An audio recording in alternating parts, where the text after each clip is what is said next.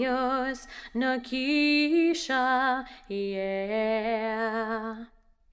One happy birthday dot com.